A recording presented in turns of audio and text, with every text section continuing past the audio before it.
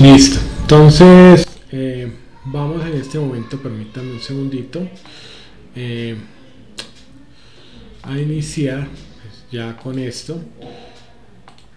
Listo. Entonces, bueno, vamos a, a ya entonces con estas, ya con el quórum, pues ahí ya eh, voy a pasarles de una vez lo que es la parte ya de lista de asistencia, pues para que la tengamos ahí desde el principio, pues para que lo vayamos eh, haciendo pues eh, ya haciendo eh, el diligenciamiento pues al respecto, ¿no? Pues ya para que no, no se nos vaya haciendo, ¿no?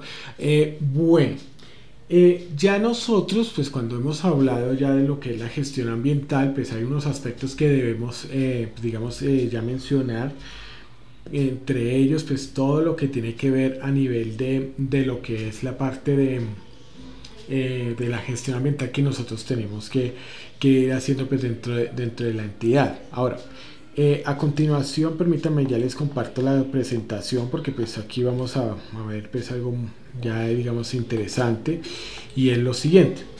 Es que resulta que cuando nosotros estamos eh, ya hablando, digamos ya en relación a lo que es la gestión ambiental y, y de- y- y demás, es importante tener, tener en cuenta que dentro de, la dentro de lo que nosotros pues eh, debemos empezar a contemplar como tal, entonces eh, está lo que tiene que ver con el uso eficiente de los recursos.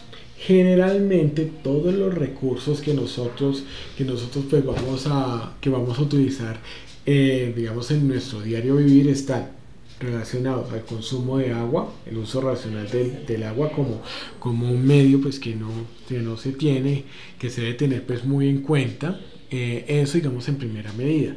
Lo otro que debemos tener en cuenta es que eh, otro de los recursos naturales que, que debemos también ahí estar, eh, estar teniendo en cuenta al respecto es lo, todo lo que tiene que ver pues con la con la eh, con, el, con el uso pues, racional del, consumo de energía y el uso racional del papel. Aquí pues decir varias cosas, ¿no? O sea, ten- ten- teniéndolas pues ahí eh, muy, muy, muy, muy en cuenta y es, y es lo siguiente. Y es que eh, el hecho está de que pues hacia esto digamos va a ir principalmente la gestión ambiental, hacia el uso racional tanto del agua, de la energía y del papel.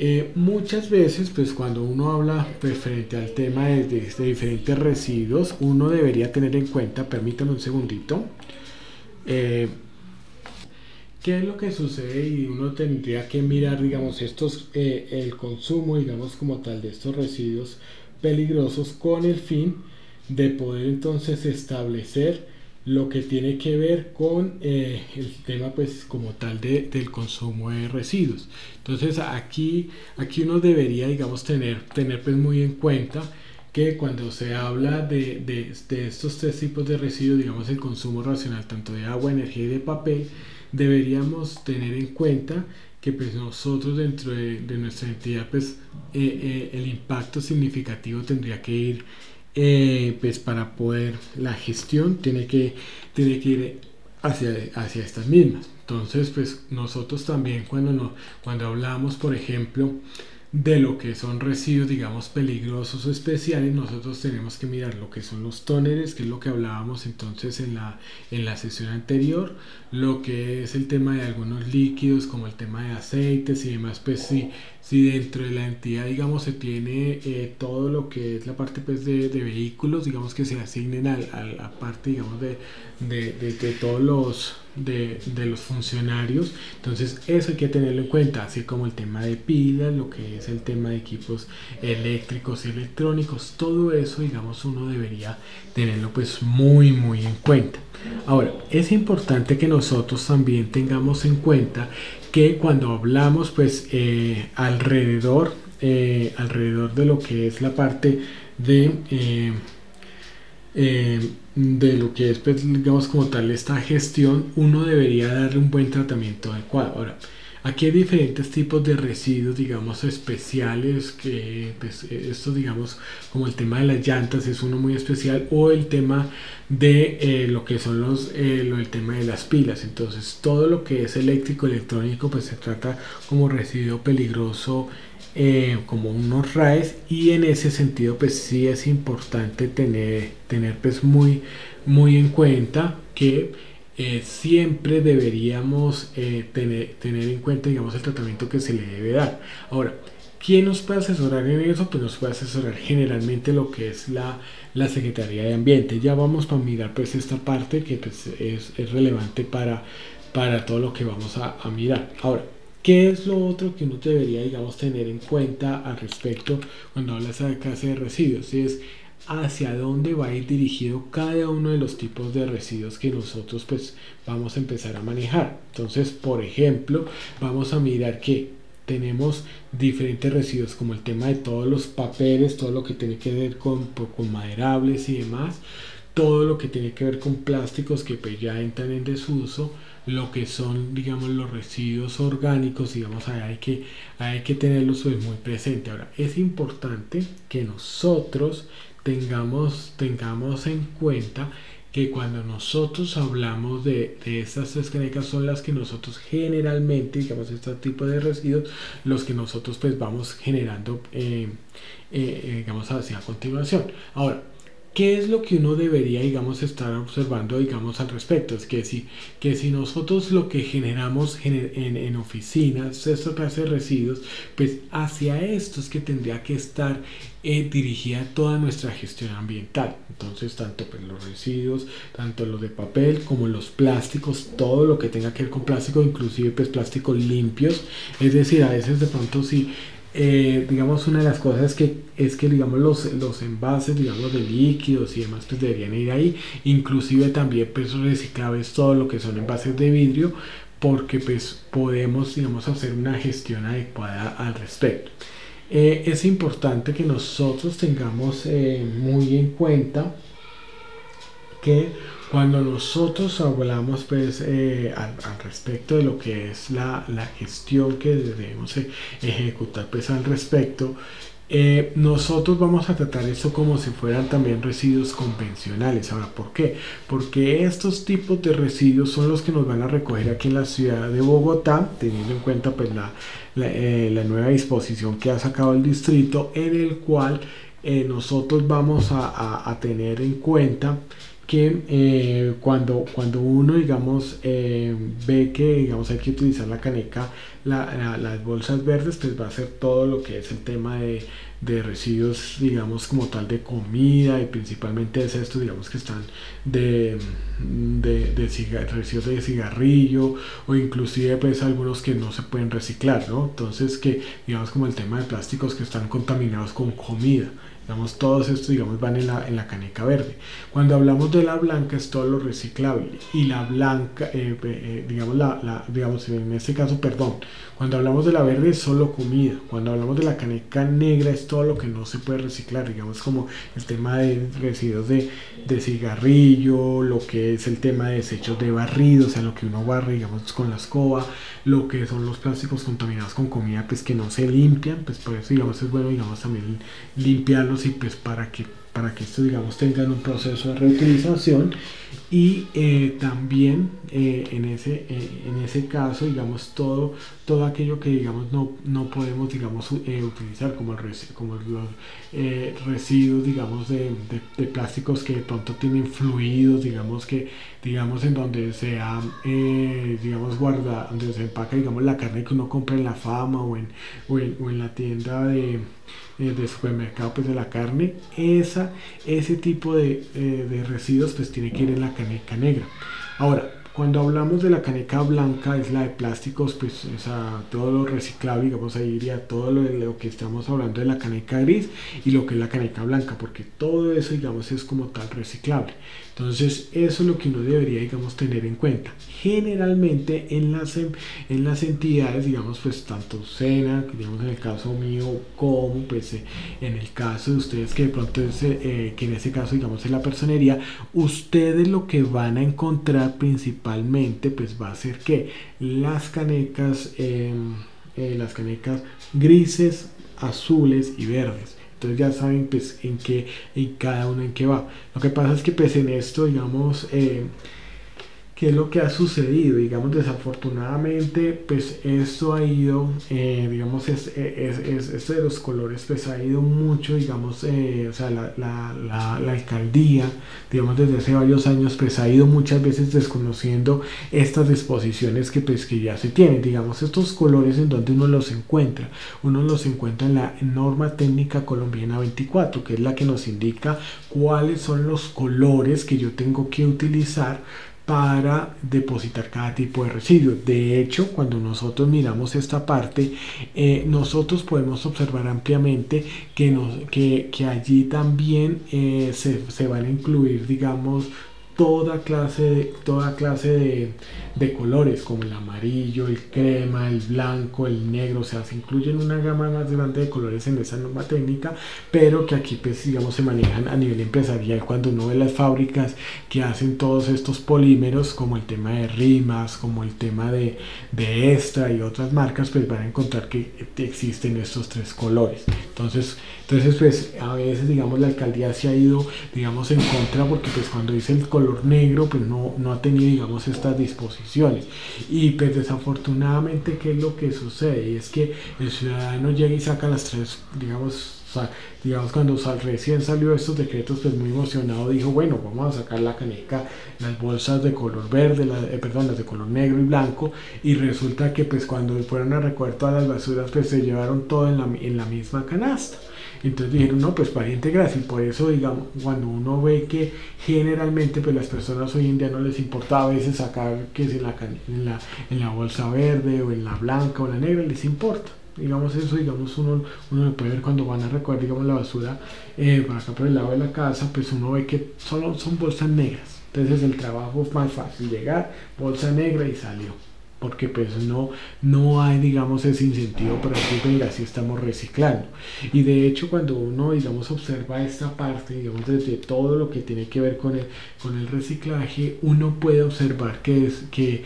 que eh, todo es digamos son, son situaciones que se pueden que se pueden solucionar son son situaciones, o sea, todo esto, digamos, cuando uno habla de, de estos tipos de, de, de, digamos, de los problemas de la contaminación, son problemas solucionables, porque miren, cuando uno mira todo lo que son, o sea, lo que yo les, de pronto se les comentaba en una anterior oportunidad, y era que, por ejemplo, la caneca de, de los alimentos que es comida biodegradable, eso sale cada, cada semana, semana y media lo que son los reciclables, pues salen cada dos semanas, dos, dos semanas y media.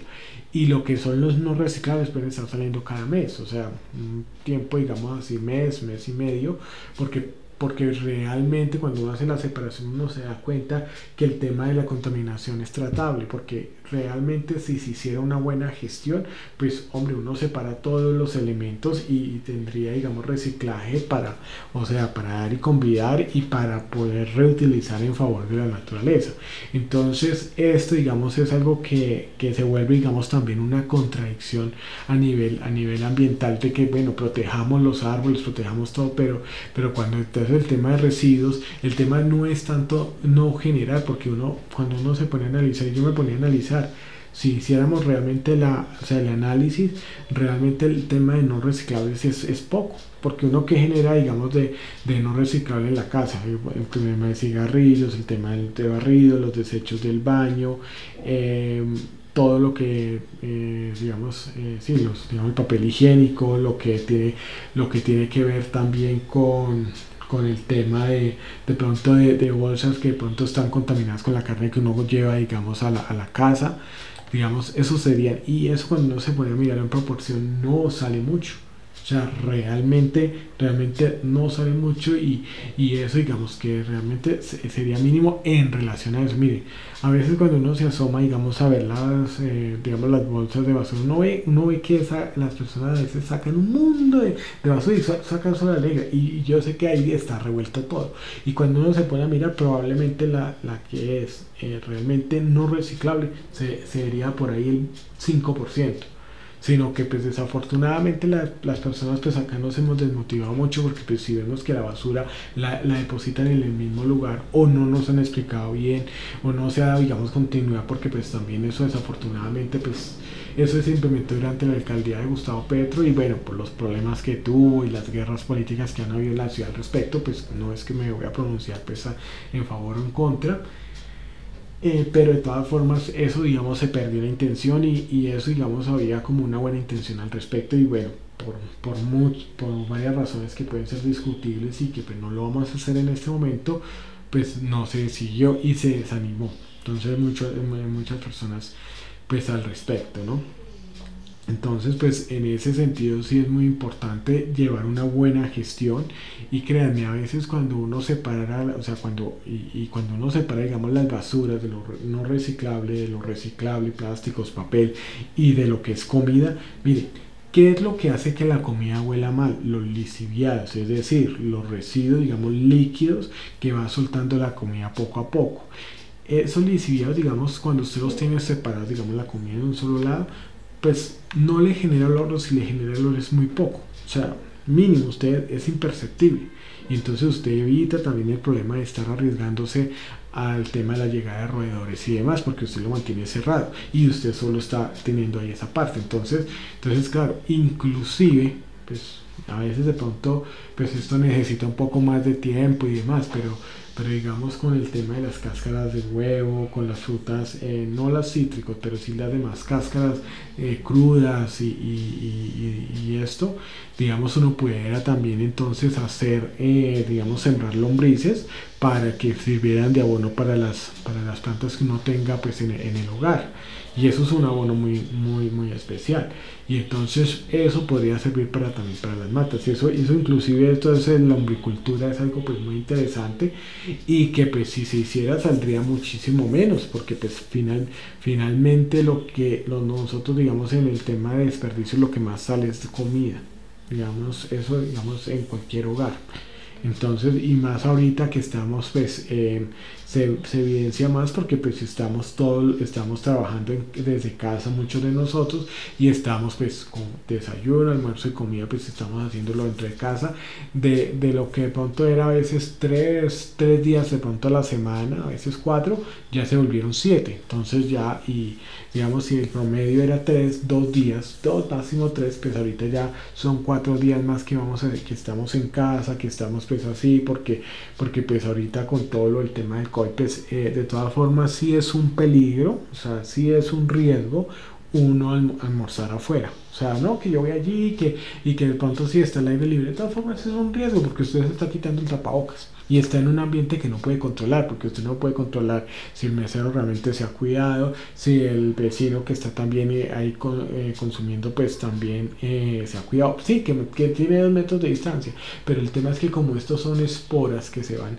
que, o sea, que se van en el aire, o sea, que están en el aire, pues usted no puede asegurar de que eso se va a ir puede ser que suba y, no llegue pero digamos ese ese también es un alto riesgo no entonces eso hay que eso hay que tenerlo pues muy muy presente. ¿no? Eh, también es importante tener en cuenta que cuando nosotros hablamos pues al, respecto de, todo esto, pues alrededor de lo que es la parte de, eh, a nivel ambiental, eh, es importante hacer esta gestión y hacerlo en esta dirección. Ustedes prácticamente, digamos, si hablamos de, de la entidad, no sale de esto, porque ustedes no, bueno, ya sería, digamos, evaluar si, si tienen, digamos, otros procesos con el tema de vehículos y demás.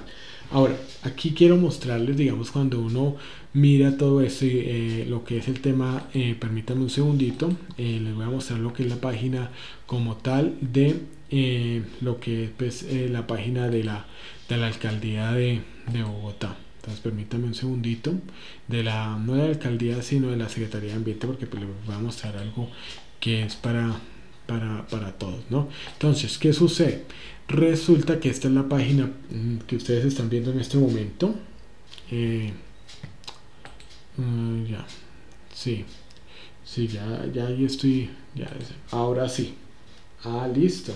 Ya, ya, ya está. Es que está en el retorno no estaba apareciendo. Bueno, eh, resulta que esta es la página de la Secretaría de Ambiente de Bogotá. Entonces esto digamos para tenerlo eh, ahí en cuenta, ¿no? Resulta que cuando nosotros hablamos de la, de la, de la parte pues a nivel de gestión ambiental, uno debe, digamos aquí nos entregan toda la normatividad, porque ¿qué es lo que pasa? en Colombia, digamos, el gran órgano, pues el, gran órgano rector, digamos, a nivel ambiental, pues es el Ministerio de Ambiente, ¿no? Que eso, digamos, lo, lo, eh, lo, lo, lo designa el ministro, lo designa el presidente de la República. El ANLA, el ANLA, la Agencia Nacional de Licencias Ambientales, se encarga de todas las, de todas las licencias a nivel de explotación ambiental. Entonces allí hay que tener en cuenta que pues, ellos se encargan principalmente de, que de, la empresa que va a hacer minería, que es pues, el tema de permisos ambientales y en diferentes departamentos vamos a tener, en los diferentes departamentos vamos a tener las corporaciones autónomas regionales y localmente pues vamos a tener las secretarías de ambiente. Entonces eso digamos vamos, vamos a mirarlo. Ahora, ¿Qué es lo que sucede al respecto? Digamos en el caso de nosotros, la, eh, como nosotros en Bogotá somos también, tenemos la, la categoría, digamos, de, de, de distrito, como decir, un como departamento Bogotá. Bogotá como tal tiene, digamos, esa, esa característica que es distrito, que es como departamento. Entonces, quien nos va a regir a nosotros no es la Corporación Autónoma Regional, sino la Secretaría Distrital de Ambiente. Entonces, por eso estamos aquí. Aquí nosotros tenemos que mirar que pues, eh, tenemos todo lo que es el tema de normatividad y demás y vamos a ver entonces algo y es que vamos a mirar que los recursos digamos a nivel de agua aquí vamos a mirar esa parte y vamos a ver que pues aquí en esta parte digamos tenemos el tema de, de residuos al respecto de esto, vamos a mirar que aquí nosotros encontramos la gestión y manejo integral de diferentes tipos de residuos. Aquí, digamos, está como toda la, la guía pues al respecto de cómo hacer un buen manejo efectivamente cuando nosotros miramos aquí pues de pronto lo que yo lo que yo puedo observar es de pronto bueno no hay ninguna actividad que propia de nosotros porque pues la, la personería no es una entidad dedicada al tema de cosméticos ni de curtiembre farmacéutica ni impresión ni nada. Pues hace impresiones pero no está dedicada a la impresión está dedicada a atender las necesidades y quejas de, de todos los derechos de los ciudadanos. Entonces por ende no debería digamos estar aquí. Ahora, vamos a mirar entonces en este caso, mire, todo lo que son el tipo de lo que nosotros entendemos como residuos peligrosos. Dentro de residuos peligrosos que están dentro de todo lo que a nosotros nos describe esta parte, están uno, los aceites usados, entonces aquí nosotros vamos a establecer también entonces con eh, digamos los tratamientos como tal inicialmente. Bueno tenemos la mesa distrital de residuos peligrosos se llaman RESPER documentos y guía no y el plan pues para la gestión integral los trámites de la licencia ambiental la lista de chequeo pues para la esto digamos es para las empresas que se dedican también a, a, lo que es la gestión de, son recolectores de los residuos peligrosos. Entonces, por ejemplo, que, que son los que, eh, digamos así como lo hace, digamos, la, empresa de acueducto de alcantarillado, que tiene su, su, su flota para recoger la basura, eh, existen otros, otros particulares que se dedican a la recolección de aceites, de filtros, de baterías, de copor, o sea, de transformar el icopor y reutilizarlo. Entonces, esas, ¿a dónde van a estar esas empresas? Aquí, empresas autorizadas para manejo de residuos peligrosos. Aquí, digamos, uno debería tener, tenerlo en cuenta, ¿no? Entonces, y aquí miren que vamos a ver la clasificación de residuos. Entonces, aquí vamos a tener, cuando nosotros indicamos aquí las empresas autorizadas, vamos a tener el listado de todo ello. Entonces, ahora, esto porque, digamos, uno debería tenerlo en cuenta, porque son las que ambientalmente están formalizadas y eh, están autorizadas para hacer la recolección de ese residuo peligroso. ¿En dónde vamos a encontrar? Vamos a encontrar aquí el nombre de cada una de las entidades, vamos a encontrar la dirección, eh, el acto, digamos, la resolución como tal que va a... Mm, que le, va, que le da la autorización eh, la actividad aprobada y los tipos de residuos aprobados. Entonces, por ejemplo, aquí vea Bogotá Gran Mangueras solo puede recoger aceite usado, no más. O sea, no puede hacer otra cosa. Aquí, digamos, clic on green, digamos, computadores para educar, va, a poder recoger residuos de aparatos eléctricos y electrónicos. Estos son todo lo que son computadores únicamente. Y vea, y especifica equipo de telecomunicaciones en desuso, o sea, los teléfonos nosotros teníamos antes los teléfonos como tal, los computadores y equipos periféricos, o sea, periféricos son el escáner, el, teclado, el mouse, digamos, los fáciles servidores, copiadores y proyectores, y computadores, ¿no? Aquí hay una clasificación, digamos, para, en, en este caso, digamos, para, para lo que es aquí desconto, entonces vea, aceites usados, mire, eh, baterías, o sea, aquí estamos viendo, digamos, cómo recogen también, cómo pueden estas empresas eh, recibir eh, toda, toda esta parte, ¿no? Entonces tienen toda esta autorización para, para recogerlo.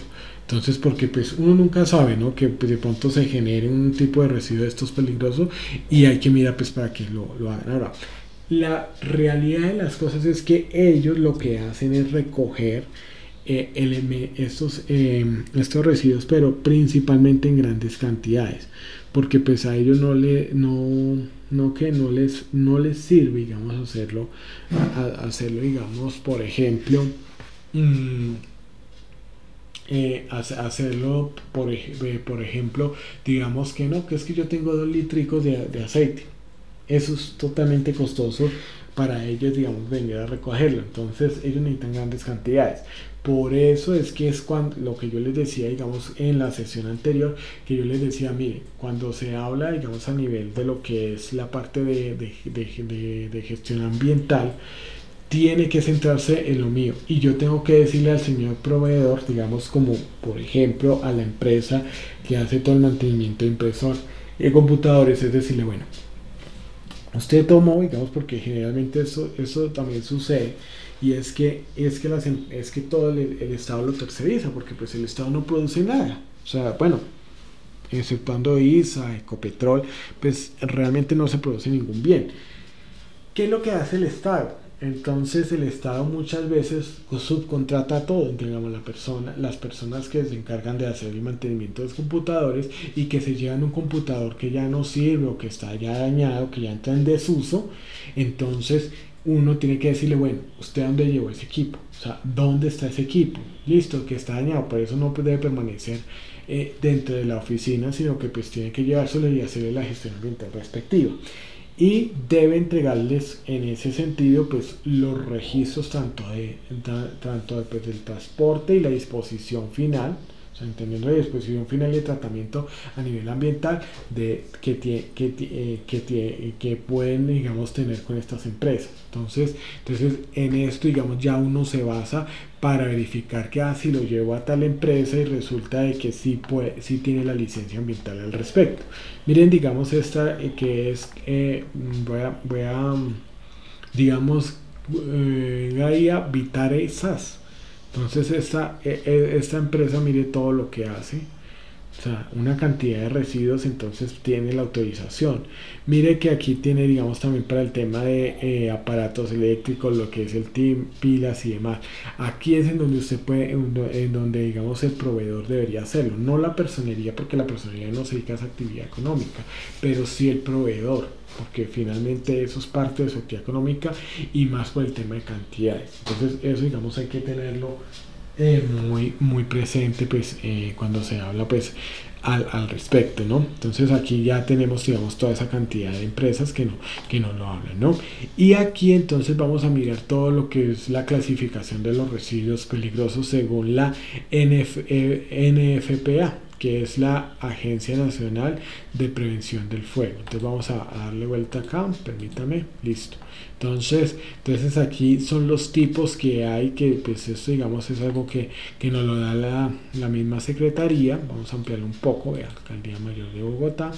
Aquí entonces tenemos, mire, los, uno de los tipos es todo lo que es el tema de aceites, los aceites residuales de mantenimiento, digamos, eh, eh, eh, como tal, aislantes, esto digamos, eh, eso, digamos, son todos los que están ya contaminados con, con este tipo de residuos.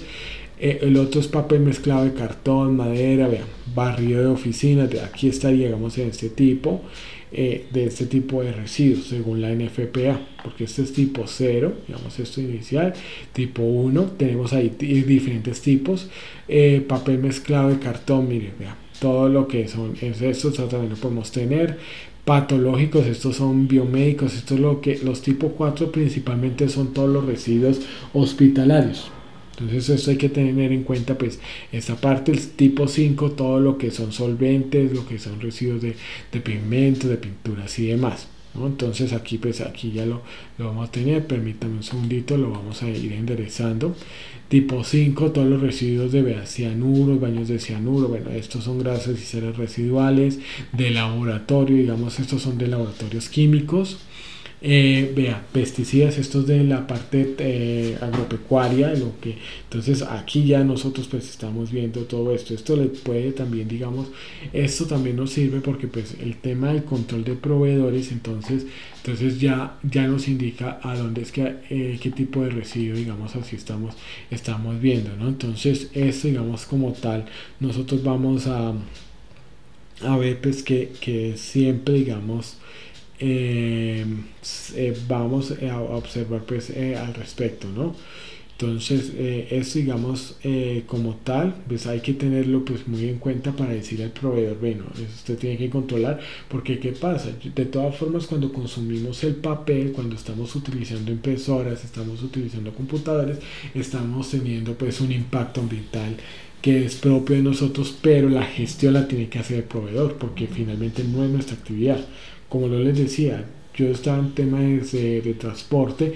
y lo mío era aceites usados, el tema de llantas, el tema de los, de los filtros de aceite, lo que eran los, los líquidos refrigerantes y el proveedor no tenía que llegar y ser muy cómodo de que, ah, no, usted se queda con ese cartucho. No, señor, usted se lo lleva, le hace la gestión ambiental como a los otros y me trae el registro, me trae el registro de que, de que, de que le hizo la disposición final con, un, con una empresa autorizada por parte del distrito que es el listado que yo les decía. Entonces, eso es lo que ustedes tienen que hacer. Entonces, para todos los que manejan el tema de equipos de cómputo, porque pues, finalmente ahí está, digamos, la gestión ambiental.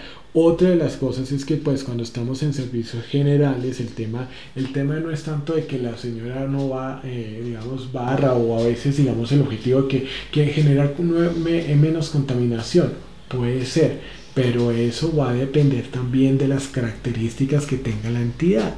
Entonces habrán documentos que tienen que ser por escritos, hay que mirar, que tienen que ser en físico, hay que mirar esa parte.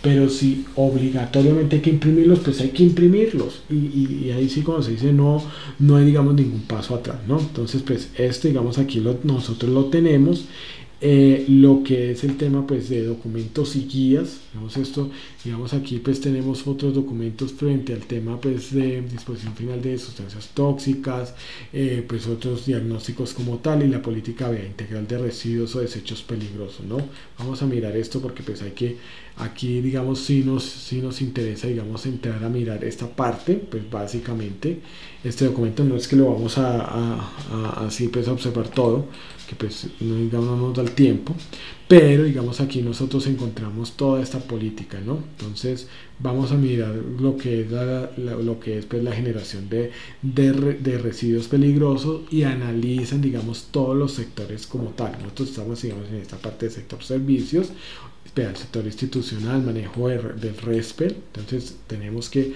eh, hacer, digamos, todo el tema de residuos peligrosos, en este caso, aparatos eléctricos electrónicos. Entonces, eso es, digamos, es la, es la parte y la disposición final, que es, digamos, qué voy a hacer con ese desecho, o sea, cómo voy a arrojarlo a la basura de manera adecuada en los dispositores que son adecuados, ¿no? Entonces, hacia eso es que tiene que ir, pues, todo lo que es la, la gestión ambiental.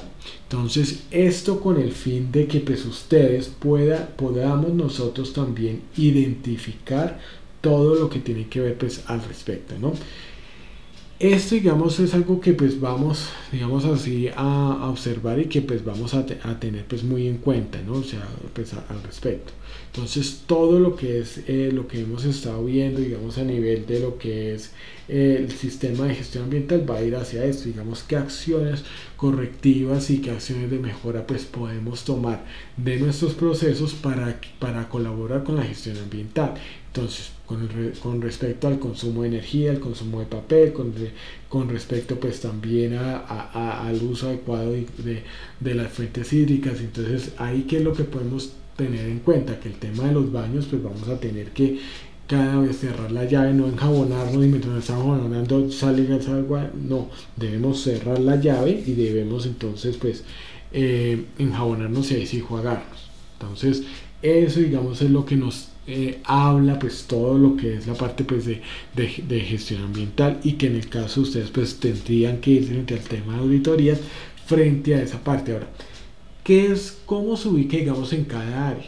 cada uno de nosotros tiene que como tiene debe conocer dónde debe disponer cada uno de los residuos, porque eso, digamos, cuando uno lo aterriza al tema de las auditorías a nivel de gestión ambiental, va, es dirigido puntualmente a lo que tiene que ver con eh, lo que es la parte pues como tal a nivel a nivel ambiental de cada proceso. Entonces permítame yo vuelvo acá un momento eh, y ya pues eh, les indico. Entonces aquí digamos aquí ya con esto digamos aquí va, va uno digamos a lo que es la presentación como tal de, de PowerPoint que estábamos observando entonces ¿Qué es lo que tendría que tener cada uno en su proceso? Sí, que usted llega y realiza su proceso, que lo está haciendo de la manera como lo dice el procedimiento.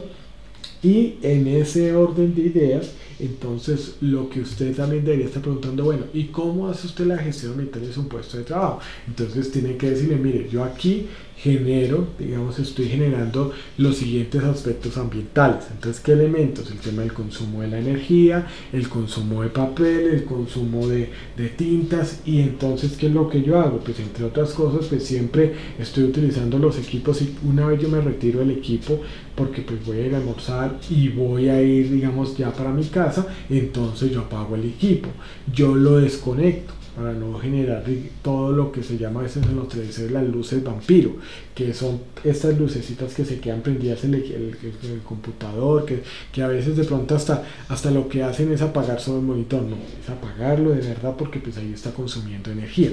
Lo otro es también, pues cuando hablamos digamos a nivel de gestión, de, de gestión ambiental, es todo lo, lo relacionado. Mmm, a, lo que es a lo que es la parte de eh, a nivel digamos de, de papel y, y, todo esto pues hay que hay que hay que tener en cuenta digamos el, el, buen uso racional lo que usted necesite. Entonces eso digamos es lo que debe identificar. Entonces porque finalmente es eso y el uso digamos eh, racional del agua cada vez que vaya a usar el baño porque no se trata o sea aquí no se trata de usar menos papel higiénico no usted va a utilizar el papel higiénico que usted necesita pero no va a excederse más allá de eso, el que usted necesita. Eh, lo mismo, digamos, sucede con el tema de, de, las veces al baño. No, que es que hay que ir menos veces al baño. De eso no se trata. Se trata de que usted vaya y utilice los recursos los que usted necesita y no los desperdicie. Como por ejemplo, dejar la llave abierta, utilizar más papel higiénico el que usted necesite y desperdiciarlo. Eh, hacia eso va la gestión ambiental en ese sentido y eso digamos es lo que uno pregunta cuando ha identificado todos estos aspectos e impactos ambientales. Entonces eh, significativos de acuerdo a la organización. Entonces de aquí no va no, no vamos a tener como esa esa salida no entonces esto digamos es lo que uno debería tener en cuenta y la idea pues como tal es que nosotros pues eh, vayamos mirando esa tener en cuenta que cuando pues nosotros eh, vamos hablando pues sobre sobre lo que es el tema de la gestión de los de los residuos peligrosos digamos aquí como como no lo como lo como lo dice como tal eh, el video pues es un compromiso que todos deberíamos como tal pues manejar no entonces, eh, vamos eh, en, este, en este caso, digamos, eh, como tal, vamos, a, vamos a mirar pues este, este, otro, este otro video pues rápidamente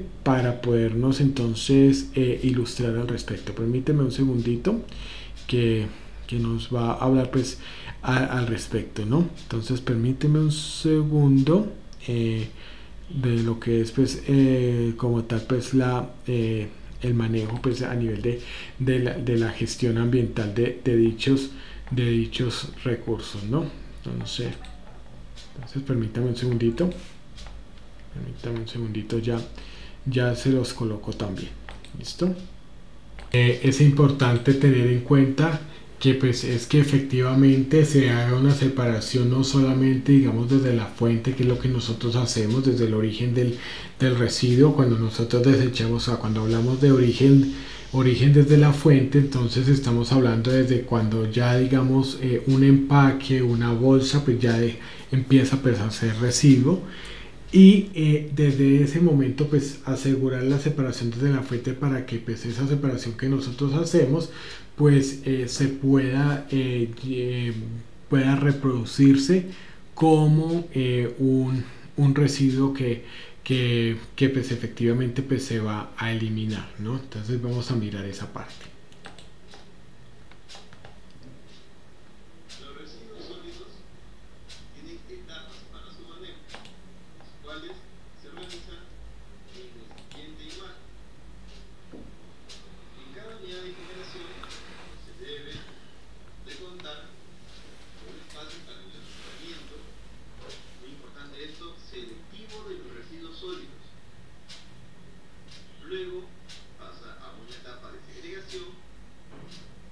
cual los residuos puedan valorizarse, pasan a procesos de reciclaje, reuso, compostaje, biogás, pero para poder pasar a estos procesos, la institución requiere mucha sensibilización y capacitación. Los residuos que no puedan ser valorizados pasan a ser manejados por la municipalidad o por las empresas operadoras extracción y barrido para luego ser transportados hacia su destino final, ideal de problemas sanitarios. En algunos casos se realizan procesos de, de transferencia que pasan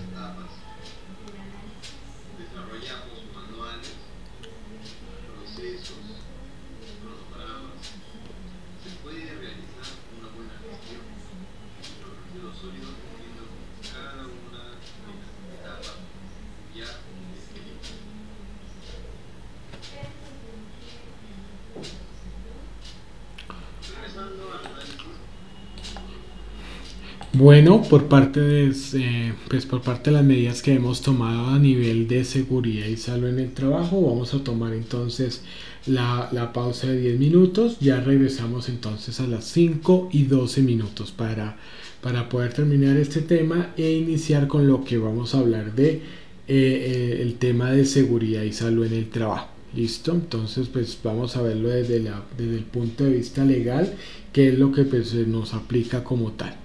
¿Listo? Bueno, agradezco, agradezco la presencia de cada uno de ustedes. A ella entonces les reenvío la lista de asistencia que pues ustedes deben llenar para, eh, al respecto. ¿Listo? Entonces ya nos vemos. Bueno, entonces ya pues teniendo en cuenta eh, lo que es la gestión pues ambiental, los pasos digamos de los residuos sólidos, que en este caso es lo que digamos se genera como entidad, que es lo que pues quería que pudiéramos entender toda esta gestión, tenemos que centrarnos pues en este proceso, ¿no? Entonces esto digamos por una parte es lo que nosotros pues estamos manejando a nivel de, de lo que es el tema de eh, pues gestión ambiental. Ahora pues a continuación pues quiero mostrarles también mm, la presentación en relación a lo que es pues la, la parte a nivel de seguridad y salud en el trabajo, pues que es el tercer elemento cuando uno habla sobre las auditorías internas a los sistemas de gestión. Entonces vamos a mirar primero lo que es la parte legal y ya entonces estaremos entonces Dios mediante en, la próxima sesión estaremos centrándonos en lo que tiene que ver eh, a nivel de lo que es la parte pues de eh, ya lo que lo que tiene que ver pues con con el tema pues de, de, la norma ISO 45001 que ya sería pues la norma como tal. Entonces vamos a hablar en relación a lo que eh, ya digamos nos, nos habla pues como, como tal eh, la, la, seguridad y la salud en el trabajo y que pues va muy amarrada pues a los requerimientos legales. Entonces aquí ya les voy a, a pues a, presentar ya lo que es el tema de, de seguridad y salud en el trabajo eh, en, este, en este sentido vamos a mirar pues que eh, como ustedes algunos de pronto lo conocerán, otros de pronto ya no lo, no lo saben, eh, el sistema de gestión de seguridad y salud en el trabajo es algo que ya no solamente es un requisito de normatividad técnica que pues, las empresas digamos lo llevaban de forma voluntaria sino que ya se volvió obligatorio digamos ya digamos es un, es un requerimiento legal en ese orden de ideas, pues eh, cuando hablamos a nivel de seguridad y salud en el trabajo, tenemos que llevar irnos pues a lo que a lo que anteriormente pues se hablaba como decreto 1443 de 2014, hoy decreto 1072 de 2015 en su pues, libro 2, capítulo 6, que eh, bueno, parte 2, capítulo 6 que nos habla sobre lo que tiene que tener los elementos del sistema de gestión. En general, los, el sistema de gestión pues, va a tener 62 requerimientos. Pues, sobre todo, pues ahí está todo lo que son políticas, lo que es el tema de, de alrededor de, de, lo que son objetivos eh, en, en, general y que pues se amarran mucho pues también viéndolo con la misma estructura de partes interesadas y demás que hemos estado viendo tanto en los sistemas de gestión de calidad y sistemas de gestión ambiental entonces, pues vamos a centrarnos en este sentido, ya, digamos, habiendo visto ya todo lo, lo que es el elemento de calidad y, ambiental, vamos a, a, a, centrarnos en seguridad y salud en el trabajo, que es uno de los elementos que, que están allí, pues, eh, eh, eh, que están pues, allí como tal, ¿no? vamos entonces en este sentido, vamos a a, hablar pues, eh, pues ya digamos al respecto y vamos entonces a, a, empezar a hablar en relación a la seguridad y la salud. Entonces, eh, resulta que pues igual que lo que ha pasado digamos alrededor de lo que es el, el ciclo PHBA, que lo hemos visto pues tanto desde, desde, el tema de calidad hasta, hasta el momento, pues todos van a estar dentro de este proceso. Y esto digamos es cíclico. Aquí lo que uno debe tener en cuenta es que cuando habla uno como el tema del requisito legal y que se amarra digamos a todo lo que es seguridad y salud en el trabajo, debe tenerse en cuenta que pues, los periodos para cíclicos que debe tener iniciales julio de cada año, como, julio en el ley, y terminan en junio del siguiente año. O sea, es como, es como eh, que empieza en julio y termina en junio, o sea, en mitad de año es que, es que se termina y empieza pues el nuevo ciclo. Entonces eso, digamos, hay que, hay que tenerlo pues muy en cuenta. Eh, todo, digamos, todo lo que es el tema del planear, el hacer, verificar, pues uno ve, digamos, estas actividades y uno lo que pues tiene que identificar que la importancia que tiene, digamos, como tal, un sistema de gestión de seguridad en el trabajo, básicamente primero es para prevenir que lo que nosotros llamamos accidentes y enfermedades laborales. Ahora, de dónde, o sea, nosotros tenemos que evitar, pues además de todo, además de todo esto, debemos entonces estar, es, estar viendo que debemos prevenirlos tanto de los trabajadores, los que están con contrato laboral, de los contratistas, de los practicantes y de los aprendices cero. Practicantes pues de universidad, aprendices pues de cero. Esto es importante porque pues cuando uno habla pues a nivel de todo, de todo lo que tiene que ver con a nivel de seguridad y salud, salud en el trabajo, pues la idea es que nosotros finalmente, uno, que veamos que, se, que todas las partes, digamos, es decir, todos los trabajadores allí eh, están participando y por otro lado que podemos demostrar que contamos con un sistema de gestión que sea medible, es decir, que podamos decir, vamos en un 30, 40, 50%, eh, controlable porque todas las variables que se pueden presentar las conocemos y sabemos qué es lo que vamos a hacer, no que, ay, no sabíamos que eso podía suceder, no que pues lo sabemos y finalmente pues que va todo en dirección de la mejora continua. Esto digamos tenerlo, tenerlo digamos en este caso digamos ahí presente. Eh, lo otro que uno debería, digamos, tener en cuenta, ¿cierto? Es que todos los sistemas de gestión a nivel de seguridad y salud en el trabajo, pues van de acuerdo, digamos, a este esquema general. Digamos, el tema de política, el tema de roles y responsabilidades, el cumplimiento de todos los requisitos legales, es decir, la, la ley, los decretos y, como tal, pues que, que, se debe mejorar, ¿no? Entonces, pues esto, digamos, en este sentido. Ahora, es importante tener, tener muy en cuenta que cuando nosotros hablamos de planear, estamos eh, organizando, digamos, en esto eh, las actividades, digamos, documentales y ya en el hacer, pues es ya la ejecución como tal.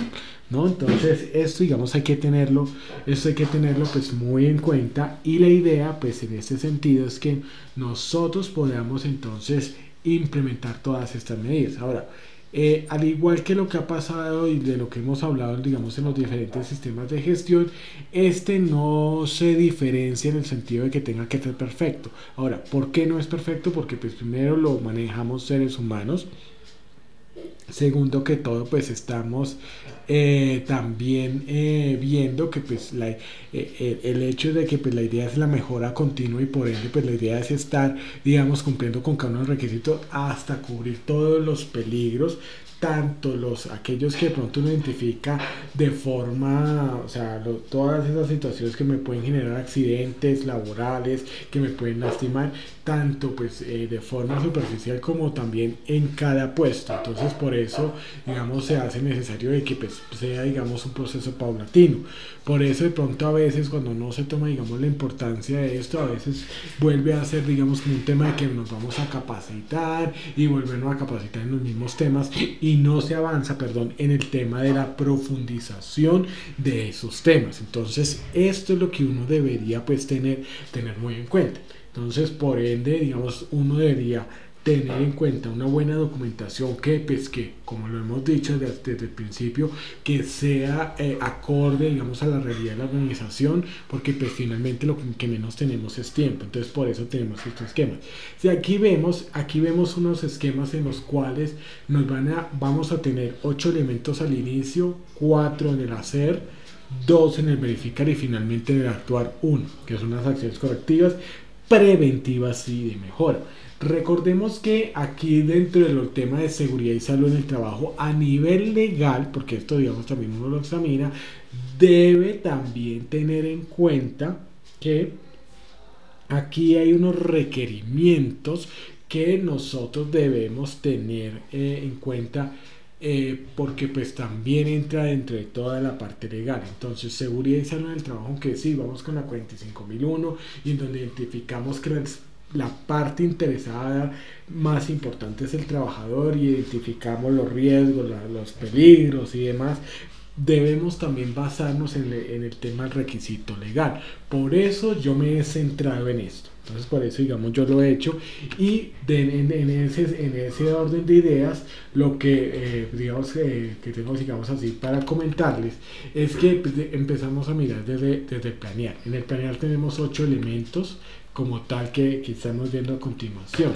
Lo primero es el requerimiento de una política, o sea, eh, afortunadamente, digamos esto desde el año 2014 que estamos ya, que ya se han establecido los requisitos para el sistema de gestión de seguridad y salud en el trabajo, pues se han establecido todos los requerimientos relacionados a, a lo que es, digamos, lo que nosotros teníamos anteriormente con la 1818001, que es una serie de normas que pues eh, manejaban digamos un sistema eh, eh, una serie de normas pues que no eran tan gerenciales como lo que es ahorita la 45001 sin embargo como esto es requisito legal hay que tenerlo pues también en cuenta. Y que nos sirve que también es de base eso es base también de lo que vamos a ver posteriormente con 45001 entonces la política como ese compromiso que tiene la alta dirección eh, a nivel de seguridad y salud, pues establece compromiso pues, de generar todas las actividades, implementar el sistema de gestión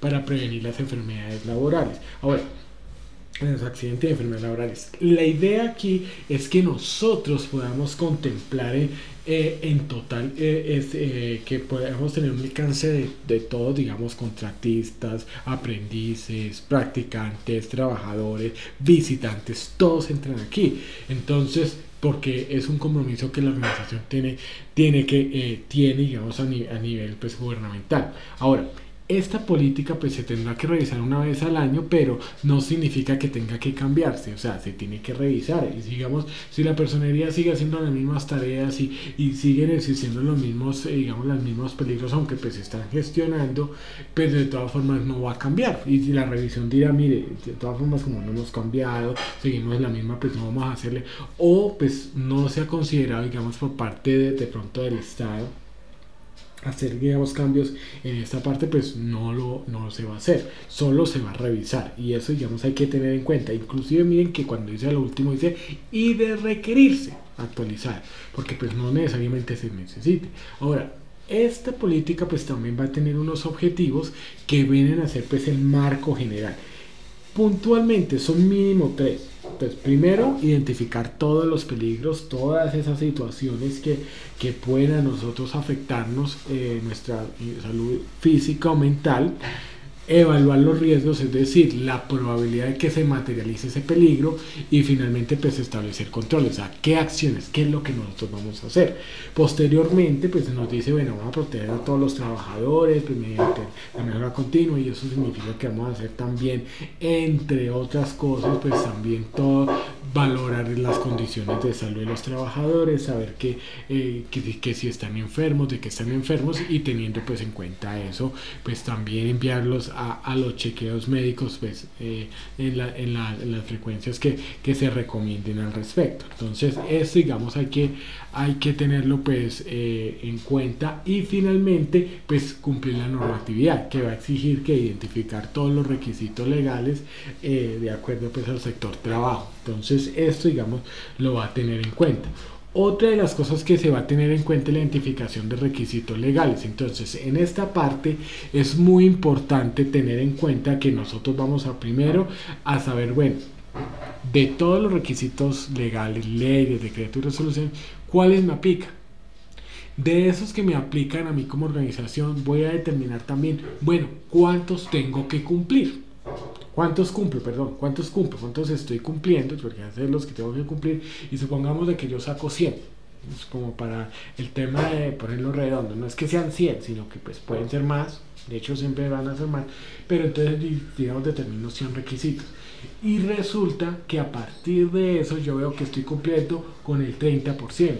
Entonces ya a partir de eso genera un plan para cumplir con los, otros 70%, con los otros 70 requisitos e ir identificando pues los requisitos nuevos.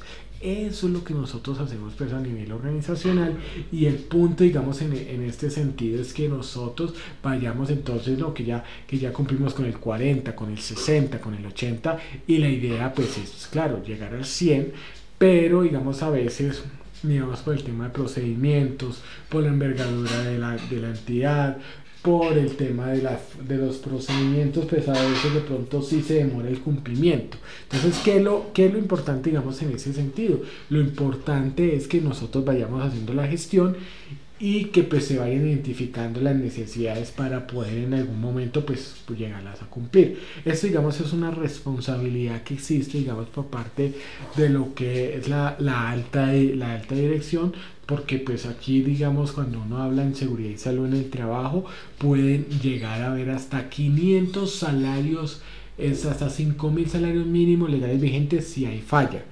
Y en caso de que se presente un accidente de, de trabajo y sea mortal y se identifique que hubo negligencia en la organización de la entidad o de, la empresa, pues puede ir de 20 a 500 salarios mínimos legales vigentes de la multa. Entonces eso hay que tenerlo pues también en, en ese sentido pues muy, muy presente, ¿no? Entonces, pues eso digamos eh, al respecto. Y otra de las cosas pues que nos va a pedir es que tengamos un plan de trabajo. Entonces el plan de trabajo es un cronograma de actividades que es anual, ¿cierto? Entonces usted establece los objetivos, las metas, los dolientes, cuándo la van a hacer y entonces se divulga también en la organización para que esté programada, en especial quienes los de los procesos operativos, ya sea digamos prestación del servicio, lo que es el tema digamos a nivel del, de, digamos, del tema de, comercialización, digamos cuando hablamos en empresas eh, como tal del sector privado que producen pues, bienes y servicios, en el caso de la entidad pues todos digamos deberían conocerlo, ¿para qué? Para que puedan ajustar su cronograma pues a estas actividades.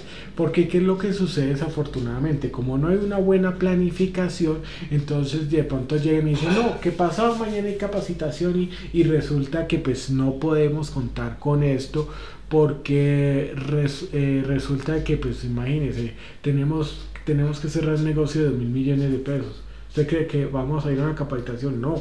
Entonces, entonces esto, digamos, se tiene que hacerse, organizarse con tiempo, o sea, planificar y, y, comunicárselo con semejante tiempo. Puede ser un año en donde, digamos, ahorita, digamos, le compartimos el plan de capacitación y si ya se sabe que en septiembre 4 a las 9 de la mañana va a haber una capacitación hasta las 11 que ya el 25 de febrero otra y así. Entonces ya con eso, ya cada una de las personas se van organizando y ya con su agenda dicen, mira, no me puedo comprometer, sino hasta sino hasta esa, esa, otra fecha entonces entonces con eso con eso digamos no vamos a tener todos estos choques que a veces se tienen en las, en las diferentes pues, em, eh, con, con, las personas que están digamos en las capacitaciones.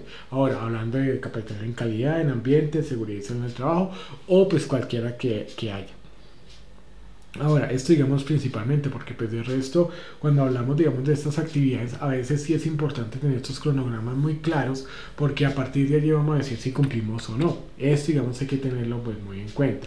Ahora, el tema de roles y responsabilidades es importante también saber, bueno, qué función vamos a cumplir. Entonces, en este sentido es importante que ustedes, digamos, cuando, cuando nosotros hablamos, digamos, eh, al, respecto de, de, lo que es el tema de, de, de, los perfiles del cargo, pues ya lo que nosotros hablábamos, que, que cuando nosotros tenemos sí, las funciones que tiene el cargo y sus responsabilidades tanto a nivel ambiental y en este caso a nivel de seguridad y salud en el trabajo. ¿Por qué? Porque pues yo estoy obligado a seguir todas las indicaciones médicas.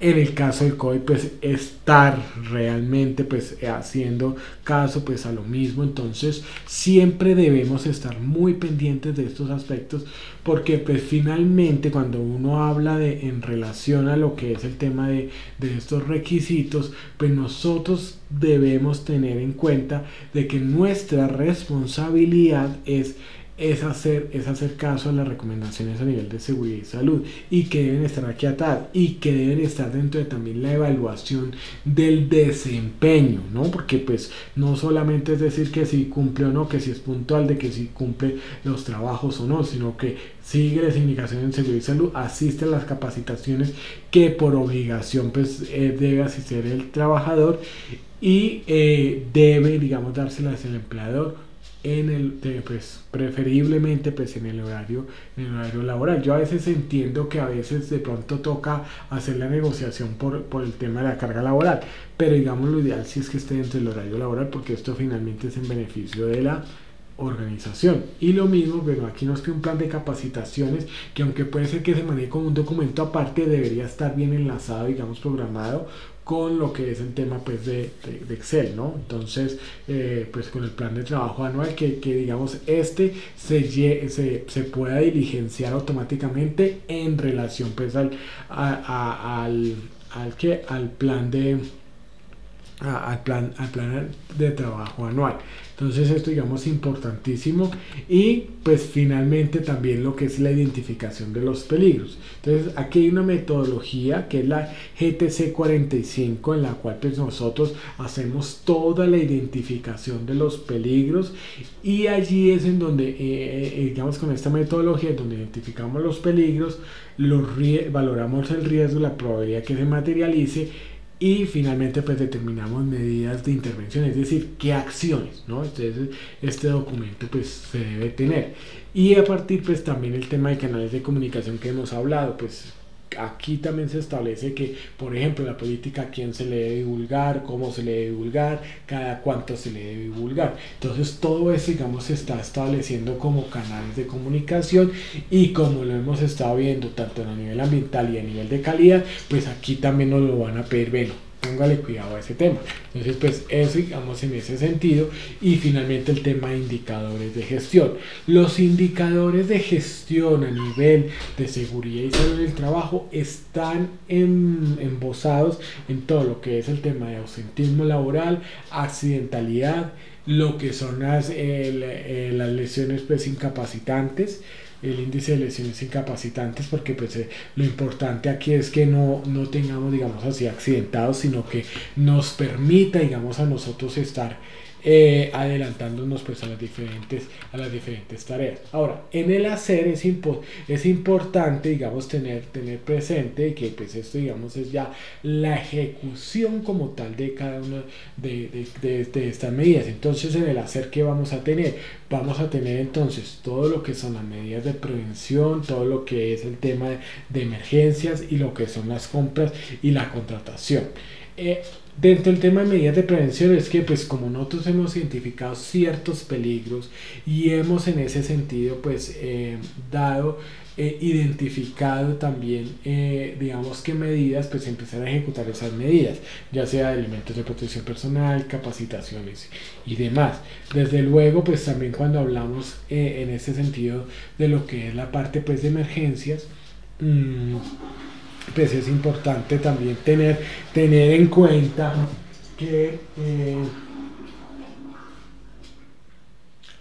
eh, tener, tener pues muy en cuenta que cuando pues hablamos al respecto de lo que es el tema de, de, de, esto de los planes de emergencia, que los podamos ejecutar, es decir, que se haga, que se realicen los simulacros, que se tengan los brigadistas, que estén capacitados, que esté bien el botiquín, los extintores, eh, que tengamos las rutas de evacuación eh, vacías, digamos los pasillos, y que pues efectivamente también hayamos analizado las vulnerabilidades que tiene la eh, como tal la infraestructura, digamos en cuanto al tema de azonada, frente al tema de inundación, el tema de terremotos, sismos, todos los fenómenos naturales, entonces que, puede, que se puedan digamos como tal atender. Esa, digamos, es la, eh, es la importancia, pues, cuando hablamos de estos planes de emergencia. Y en el tema de compras, pues, siempre va a ser importante uno identificar, bueno, las compras que yo hago, digamos, si, si deben cumplir con requisitos a nivel de seguridad y salud en el trabajo. Entonces, pues esto aplicará para dotaciones, elementos de protección personal que pues deben, deben digamos, en ese sentido, tener, digamos, en cuenta estos aspectos. Aquí es importante tener en cuenta que cuando pues, nosotros hablamos de, del tema, digamos, de contratación, aquí es el tema de, de, de que sigamos, si, si, hablamos en relación a, lo que son contratistas, que paguen su seguridad social, que realmente estén en el nivel de riesgo, pues de acuerdo a sus actividades, porque no es lo mismo una persona que está en oficina a una que tiene que estar en la calle. Ahí ya hay otro nivel de riesgo porque pues está, hay otros peligros que pues está expuesta la persona. Y en ese sentido es, es importante pues ir ubicándolos pues al respecto, ¿no? Eh, aquí también, por ejemplo, si nosotros estamos con el tema de capacitación en seguridad y salud en el trabajo, pues que la persona tenga su licencia en salud ocupacional para capacitar en seguridad y salud. Entonces, eso digamos como un el certificado de idoneidad. Eh, y pues ya digamos uno viendo digamos como todo esto entra finalmente pues el proceso de auditoría eh, al sistema de gestión y la revisión pues por la alta dirección. Aquí aquí hay que tener en cuenta algo que pues aquí entra todo el tema de auditorías que es lo que vamos a hablar el, los programas de auditoría el plan de auditoría las listas de verificación los informes de auditoría y finalmente pues las acciones correctivas preventivas y de mejora pues que tienen que, que tenerse pues eh, en este caso eh, para, para estos procesos. Es importante tener en cuenta que estos procesos, digamos, cuando uno habla en sistemas de gestión y en especial de auditoría, vamos a estar viendo, ya cuando estemos viendo la, ISO 19011, pues al respecto, eh, vamos a, a, observar que aquí lo que nosotros vamos a tener en cuenta es que eh, dentro de estos procesos todo está planificado, o sea, usted sabe qué es lo que le van a preguntar, cómo le van a preguntar y usted sabe qué evidencias son las que tiene que presentar. O sea, mejor dicho, a veces eso que, que a veces pasaba en las universidades, en los colegios, que, que llegaban y entonces uno no sabía, no, aquí es diferente, porque porque aquí ya usted sabe todo y sabe la respuesta que, tiene, que debería dar con respecto pues, al tema de, los requisitos que usted tiene.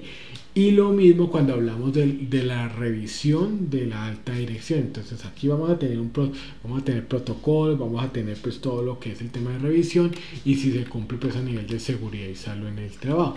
Ahora, Finalmente, pues siempre vamos a tener en cuenta, bueno, la revisión por la dirección, esto es un documento largo, porque cuando uno ve, digamos, la revisión por la alta dirección, en, en caso, digamos, de, de, de los tres sistemas, esto sale harto.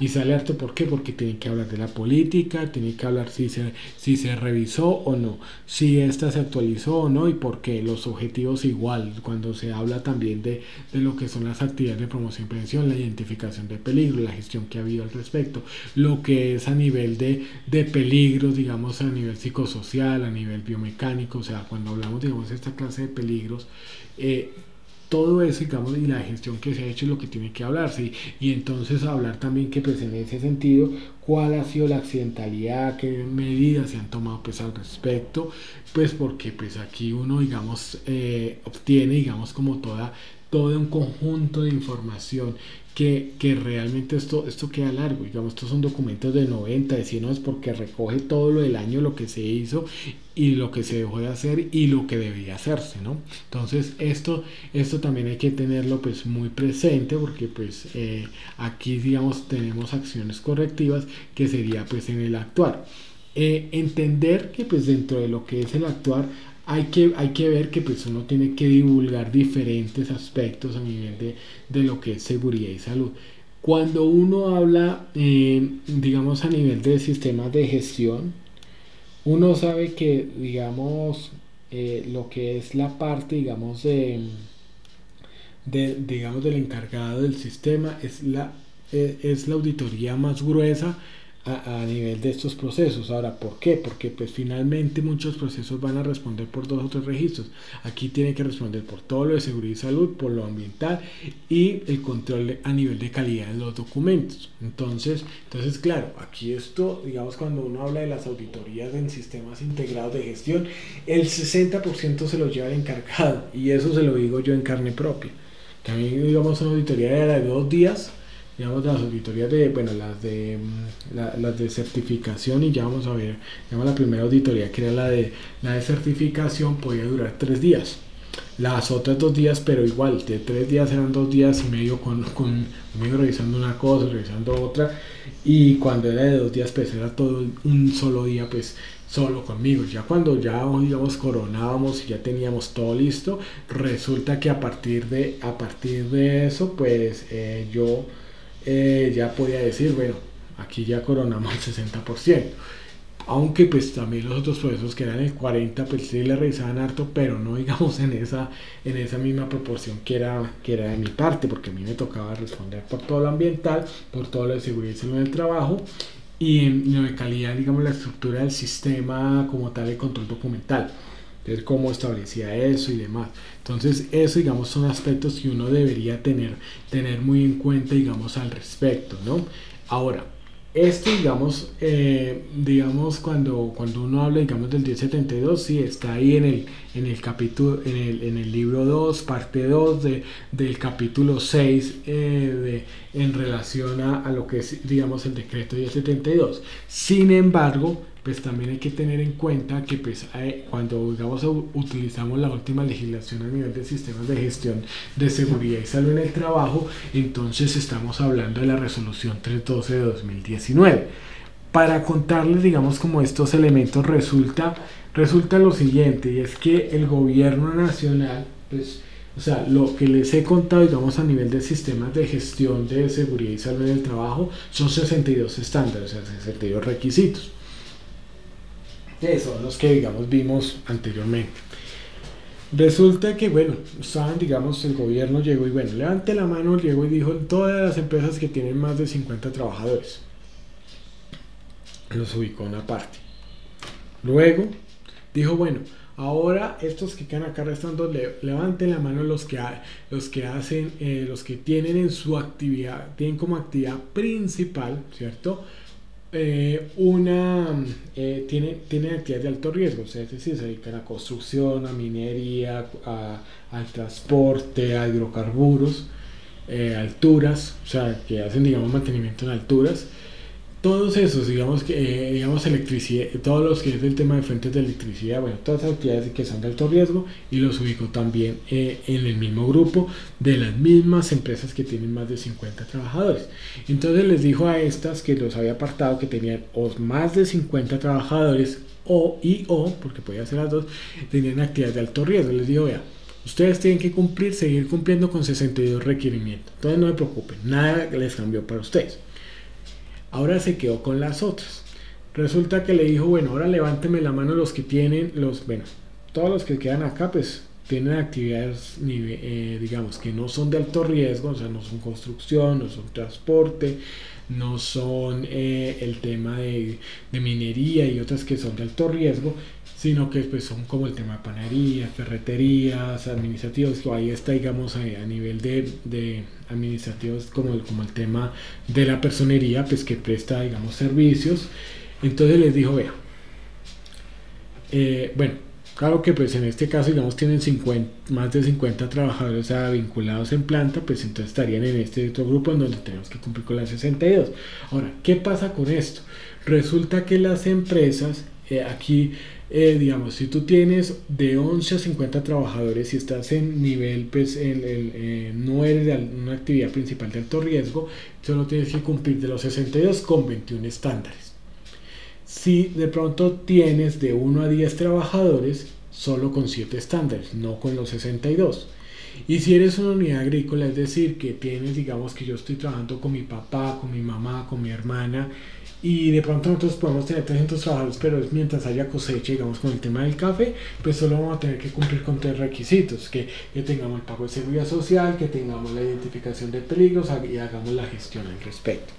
O sea, eso es, ¿no? O sea que son tres. Y las empresas, digamos que tienen de 10 a menos trabajadores, pues tendrán que tener pues un responsable de seguridad en el trabajo, pues que puede ser técnico, deberán entonces eh, tener, digamos, el tema de capacitaciones, identificar los peligros eh, y nada más. O sea, ellos, o sea, todo el ciclo, digamos, de lo que hemos visto que es de planear, hacer, verificar y actuar en estas empresas, unidades agrícolas que tienen, que tienen digamos, eh, menos de, de 10 trabajadores fijos permanentes, eh, las empresas que ya tienen entre 10 y, y, un trabajador o tienen de 11 a 50, pues cumplen con menos del 50% de los requerimientos. O sea, usted bajar de 62 requerimientos a 7, pues ya que, o sea, ya, ya no tiene nada.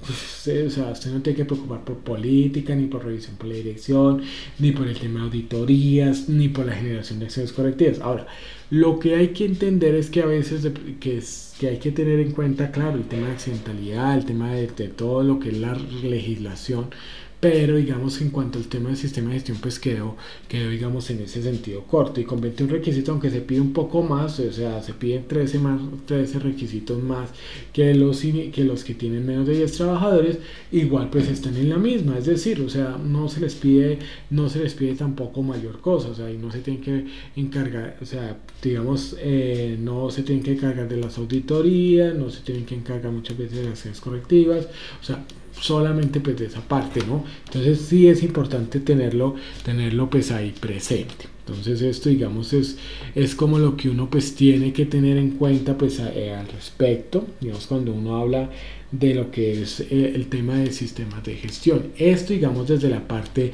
legal. Voy a, vamos a mirar pues un pequeño video pues que habla sobre esta parte que se lo voy a compartir en este, en este preciso momento, ¿no? Entonces permítanme un segundito voy a dejar de presentar y les voy a presentar pues esta, eh, este video pues que, que, nos va a servir. Listo entonces por favor vamos a, a mirarlo en este momento. Mm, ya, listo. Entonces que nos va a hacer que nos va a servir en, en esto. Listo. Permítame un segundito y ya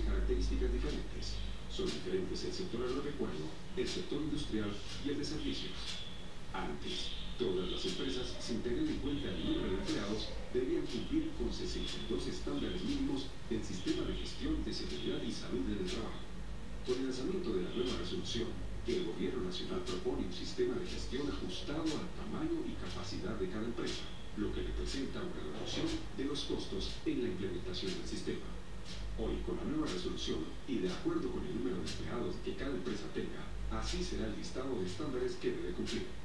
Empresas con menos de 10 trabajadores, 7 estándares mínimos. Empresas con 11 a 50 trabajadores, 21 estándares mínimos. Las unidades agropecuarias tendrán 3 estándares. Para las empresas con más de 50 trabajadores, se sigue aplicando la reglamentación anterior, Resolución 1111 de 2017. Con esta reglamentación nueva, se benefician 656.000 MIPIMES. ¿Pero cómo se benefician?